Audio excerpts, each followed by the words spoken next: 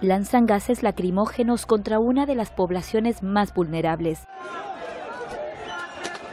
Los jubilados griegos han sido reprimidos de esta manera en momentos en que protestaban contra el recorte de sus pensiones.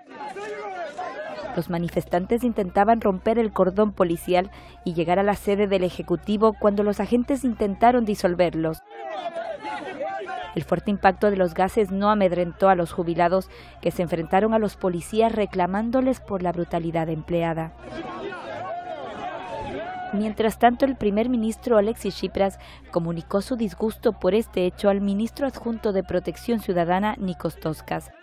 Este a su vez anunció una investigación y prometió prohibir los gases lacrimógenos. La medida policial también fue muy criticada por todos los partidos de la oposición. El incremento de las protestas de trabajadores y jubilados tras el tercer paquete de rescate firmado en julio de 2015 por el gobierno heleno ha provocado la reaparición del uso de gases lacrimógenos en un gobierno que cuando estaba en la oposición siempre los cuestionó.